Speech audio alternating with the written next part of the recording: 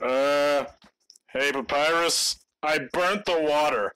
Sans, how the fuck did you burn the water? I don't know, bro. I it just caught on fire. Sans, oh my god! The house is on fire! I'm sorry, I can't cook. Fuck! Будучи маленьким, я лазил по YouTube и наткнулся на видео под названием I am stronger than you. Нажав на него, я увидел прекрасную анимацию. К сожалению, тогда я не знал английского и не понимал, о чем говорится. Расстроившись, что не смогу узнать, что это за фандом, я пошел дальше. Через пару часов я наткнулся на видео с Лёцлеем и, нажав на него, узнал персонажей. Они были в точности такие же, как на той анимации, подумал я. Так я узнал, что игра называется Undertale, это компьютерная ролевая игра, разработанная американским программистом и композитором Тоби Фоксом. Игрок управляет ребенком, который случайно упал в яму и попал в подземелье большой мир, изолированный от людей. Сюжет, казалось бы, довольно прост, но данный фандом подарил многим людям кучу эмоций и воспоминаний, включая и меня. Сейчас я не особо активен в этом фандоме. В основном смотрю арты других художников и слушаю о новых альтернативных вселенных от моих друзей. Я вступил в фандом тогда, когда Undertale только начал набирать популярность. Это довольно мирное место. Люди начали создавать свои вселенные, а я рисовал своих персонажей на обычном листе бумаги. Тогда у меня не было доступа в социальные сети из-за строгого контроля со стороны матери, но в 2018-2019 году у меня появился доступ. Тогда я начал создавать посты с моими артами на своей странице ВКонтакте. Я тратил на рисунки до 7 часов и гордился собой. Однако, к моему сожалению, никто не хвалил мои работы, а наоборот говорил, что они ужасные, мне стоит перестать рисовать. Я был расстроен, но со временем узнал о Амина и зарегистрировался там. Так началось мое незабываемое время, полное хороших и плохих воспоминаний. Выкладывая свои первые посты в Undertale Амина, меня большинство приняло с теплотой и начали заводить с мной дружбу. Благодаря этому у меня есть друзья, которые до сих пор общаются со мной, за что им огромное спасибо. Так как тогда я переросла из простой депрессивной фанатки в адекватного и веселого человека. У меня было много конфликтов, начиная от оправдывания поступков Берди и заканчивая моими личными конфликтами с другими людьми. Вначале я был типичным Мэри Сью, который боготворил Санса. Но несмотря на это, я рисовал фанарты для других его фанаток. Было много ролевых чатов и часов, проведенных в них. Было много споров в голосовых чатах о том, какой персонаж круче.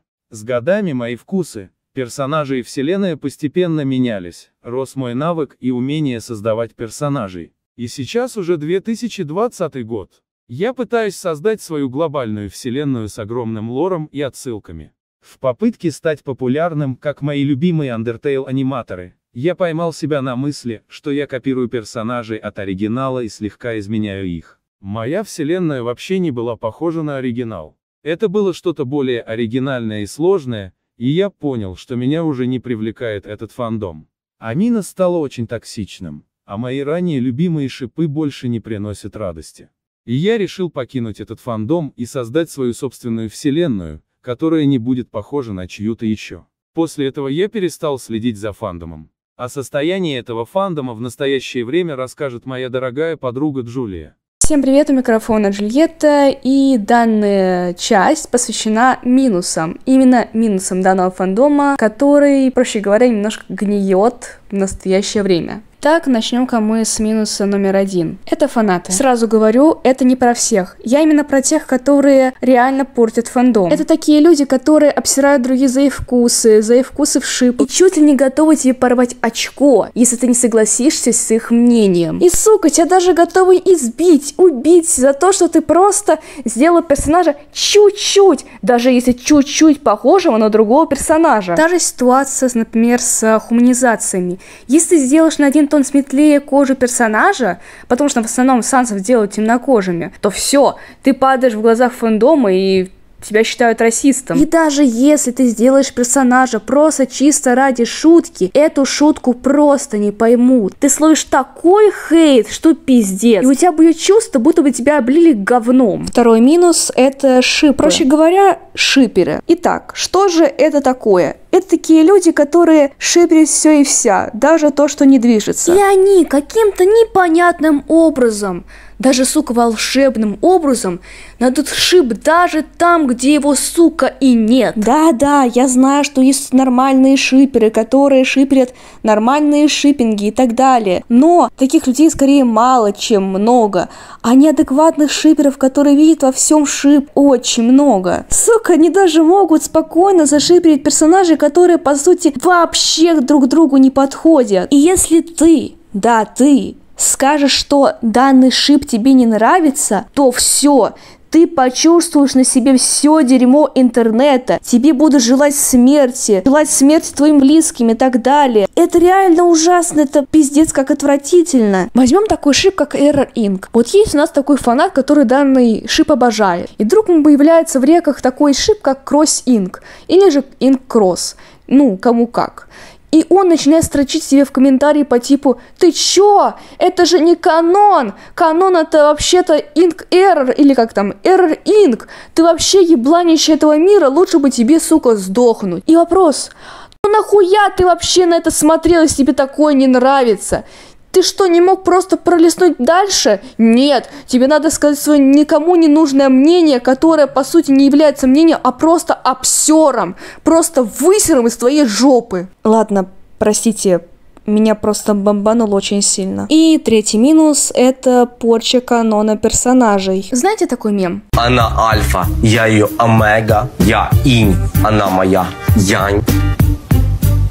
Мы чувствуем друг друга максимально. Это полет. Это можно пускать волну, она ее подхватит. Все.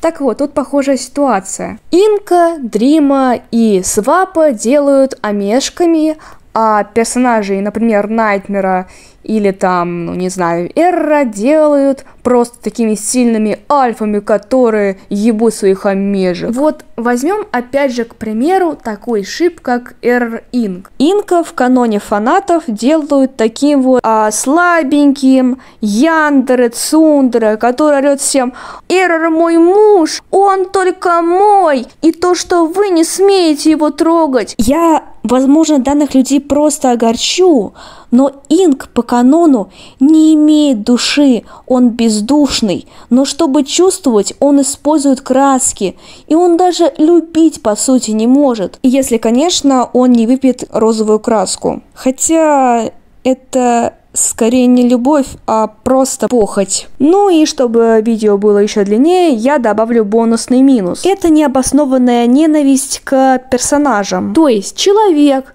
готов чуть ли не убить данного персонажа, даже не узнав его предысторию, как он на самом деле и так далее. Подобная хуйня происходит с Ластом, которого делают таким извращенцем, педофилом, и то, что он пристает ко всем, лишь бы поебаться. Я Возможно, этих людей просто шокирую, но Ласт это делает не по своей воле.